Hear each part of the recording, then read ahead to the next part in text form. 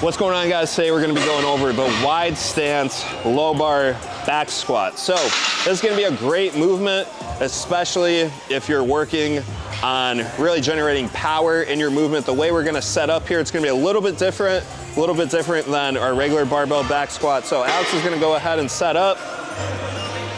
Now notice the placement here in the bar. She's got it a little lower than generally what she would use used to be uh, performing this movement, so she's gonna go ahead and step out. Now notice her stance here. She's gonna take a really wide stance. She's gonna point her toes out, whatever feels best for her.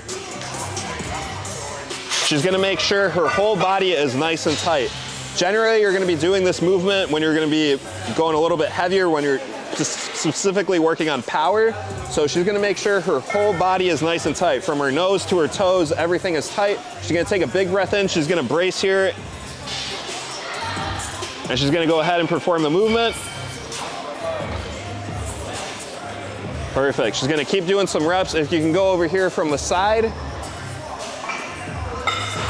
you can see that bar path, it's staying nice and straight. This is perfect form right here. Bar's going down nice and straight. She's keeping that wide stance. She's focused on sitting back. She's pushing her knees out. She's gonna get a little more power here.